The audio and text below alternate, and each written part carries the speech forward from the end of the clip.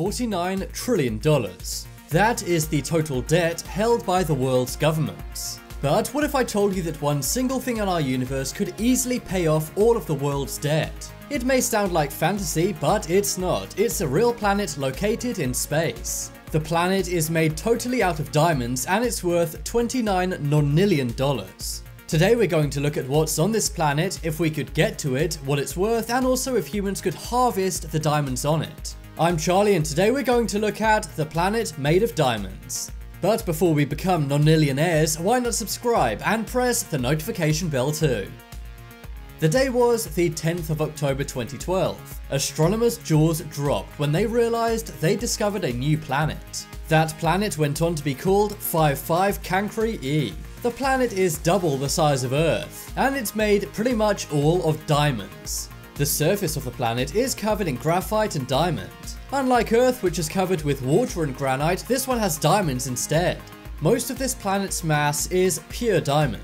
There's only a few official images of this planet. And as you can see, it kind of looks like a very red hot ball. You can't see any shiny diamonds on it from this photograph, and the reason why it looks like a volcano planet is because it's very near to its host star. Its host star is called 55 Cancri A, and it's said to be much much more hot than the sun. But when the planet is pointing at its host star, you can see it fully lit up. And when it's fully lit up, it turns into a blue color, which is the diamonds and graphite on this planet. The planet was discovered in Texas, United States and it was done with NASA's Hubble Space Telescope. The telescope had detected hydrogen and helium, but oddly no water vapor was detected. This led to them discovering this planet known as a super-Earth. Apparently some parts of this planet could be kind of dangerous. That's because it is home to many volatile materials, for example lots of carbon dioxide.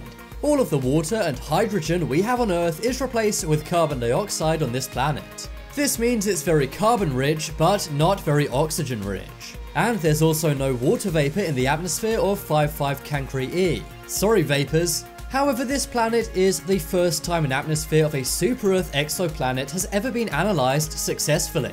NASA was able to use infrared observations to check out this planet in great detail. But be warned, on this planet is a gigantic global lava ocean. However, this planet does have chemicals similar to that of the Earth's atmosphere. These include nitrogen and possibly oxygen. But let's get to the thing we're all thinking about, the money. What exactly is 55 Cancri E worth? The answer is 29 nonillion dollars. That probably doesn't mean much to you because you can't visualize such a big number. But here it is written down. As you can see it's the number 29 with 30 zeros. The biggest number you've probably ever thought of is 1 trillion. That is a 1 with 12 zeros. But all of that money could completely change how we live on Earth. The entire GDP of the world is $70 trillion. This means the money made by the world is 70 trillion, which does sound like a lot. But this means that 55 Cancri is 384 quadrillion times the world's GDP. And it also means that if we could get to this planet and extract the diamonds, we could easily pay off the debt of the world. Right now, governments around the world have $49 trillion worth of debt. But that would only be 0.0182% of this planet's worth. Earth rotates around this planet once every year. That means on 55 Cancri E, time is totally different as to how we know it. What is one day for us on Earth would be one year on that planet. But how exactly did a scientist get the number 29 nonillion? Well, it's easy. You need to first get the raw diamond value. One kilogram of raw diamonds is worth a cool $1.5 million.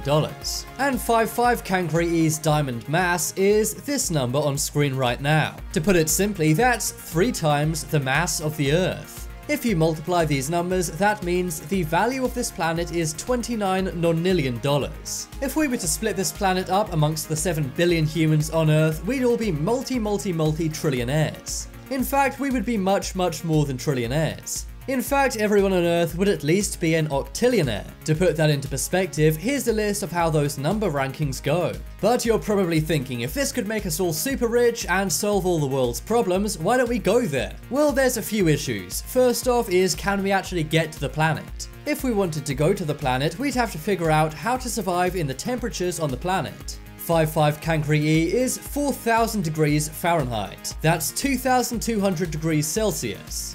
Of course, this is too hot for any human being, no matter how much gear we put on them. And it's also too hot for any technology that exists right now. Not only that, this planet is very far away, 40 light years to be exact. To put that in miles, that's 230 trillion miles. So it's more or less impossible to actually get to this planet. But another issue with this planet's worth is supply and demand. Remember, I calculated the worth of the planet based on how much one kilogram of diamonds costs right now. But the only reason a kilogram of diamonds cost 1.5 million right now is because they're very rare. If we had a whole planet full of diamonds, then the rarity would drop and the supply would go up and with the supply going up, the demand would decrease, driving the price way down. So sadly, this planet is not going to solve all of our problems anytime soon. But it is still pretty cool to know that a planet made totally of diamonds exists in space. Not only that, if we were able to build a suit or maybe some tech which could survive the heat, humans could live on this planet. This planet is classified as a super Earth planet or an exoplanet. But on the subject of extraterrestrial diamonds, did you know that Russia is hiding something from the rest of the world?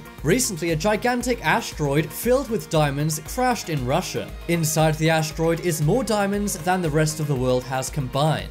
But amazingly, Russia was able to get a hold of this asteroid that fell in their country. Inside the asteroid is trillions worth of carats of diamonds. The asteroid made a gigantic crater in the regions of Siberia, Russia, and inside it there's enough diamonds to power the global market for the next 3000 years. This is very crucial because diamonds aren't just used on things like rings. They're also used in lasers and technological innovations. They can also be used to attain nuclear fusion. So if the global stock ever depletes, then we all need to go to Russia as they have more diamonds than anyone else in the world combined. But now it's time to make your voice heard. Would you want to take a trip into outer space? Vote in the poll in the top right corner and let me know. If you want some more amazing videos, then check out my second channel. There'll be a link to that on screen in a moment. But as always, thanks for watching. Check out some more videos on screen right now. Leave a like if you enjoyed and if you haven't already, what are you waiting for? Subscribe to Top 10s.